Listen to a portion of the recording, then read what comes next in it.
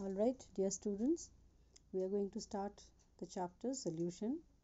As i told you earlier there are certain portions of this chapter which are already done in class 11 so i'm just giving you a kind of revision.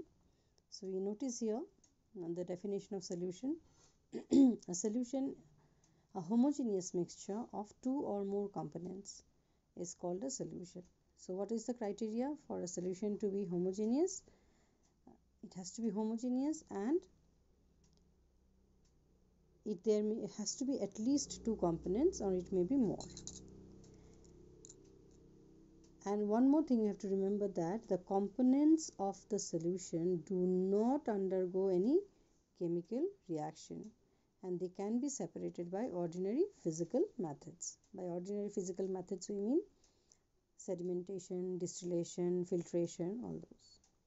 Now if we have only two components only two components in a solution then we call it a binary solution out of which the component which is present in lesser quantity is called solute and the one which is present in the larger quantity we call it solvent and the two form some homogeneous mixture make a solution. Now by convention solute is designated the symbol B or 2 as you can see here it's written and solvent since it is present in a larger quantity it has a more priority and that's why it is given first preference A or 1.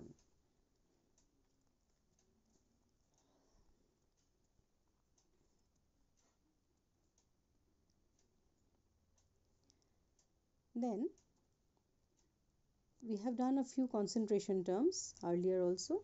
This is mass percentage, mole fraction, molarity and molality. Mass percentage of solute is mass of solute divided by mass of solution into 100. Mole fraction for each component in the solution we can calculate and if we consider a solution is made up of two components A and B then chi A is written as number of moles of A divided by total number of moles of A and B like this and since it is the ratio of number of moles it has no unit.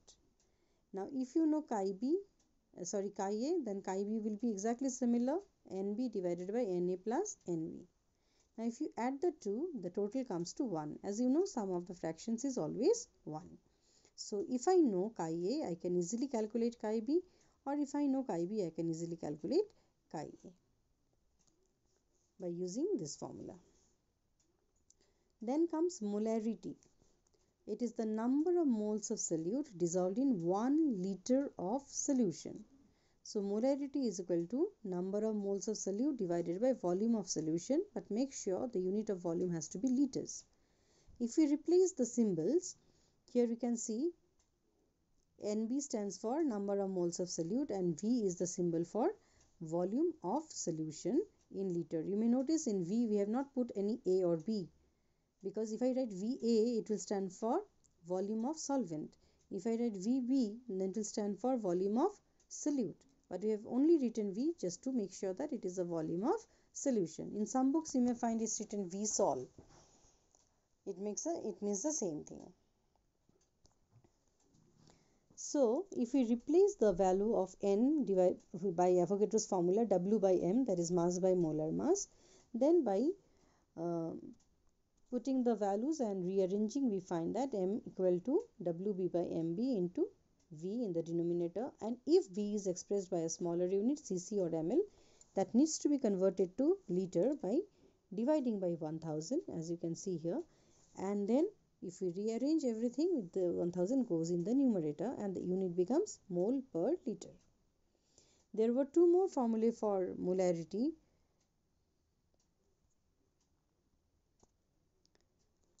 As you can see in your note, another formula for molarity is 10 xd by mb where x stands for mass percentage of solute, d is the density of solution in gram per liter or sorry gram per milliliter or gram per cc and mb is the molar mass of the solute. This formula we use when the uh, um, mass of the solute is given in terms of percentage and density of the solution is given. There is another formula for molarity and that is M1 V1 equals M2 V2. you might have noticed that I gave you a numerical depending on this formula. This formula of m1 v1 equals m2 v2 is done is used when you know the concentration of one of the solutions.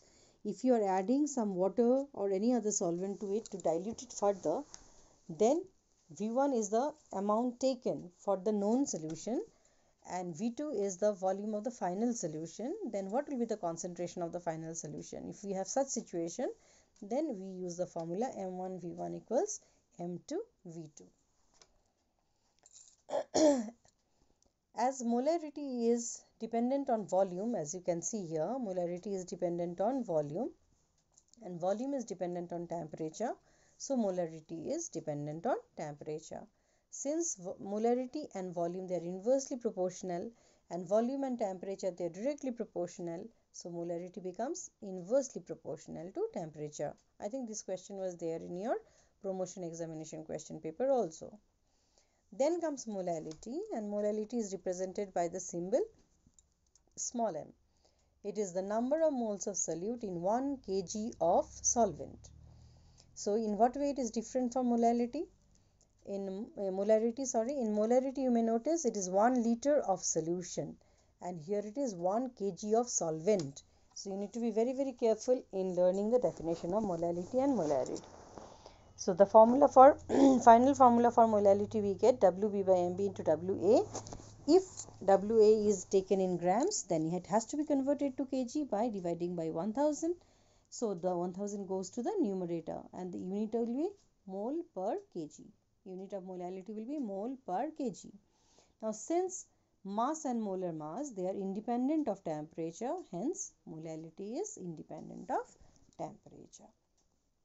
So these are a few concentration terms which you needed to know and we, I have given you some numericals to work out. This is a solved example from your textbook. Calculate the mole fraction of ethylene glycol. The formula of ethylene glycol is given C2H6O2 in a solution containing 20% ethylene glycol by mass. This particular problem I have given you in class 11 also and again I am giving you in class 12. It is a textbook question. It is a solved example uh, so you have to do it again and I hope you understood how it was done okay all these problems which I have given you these are all from class 12 textbook and these are all done in class 11 if you have any doubts you may always ask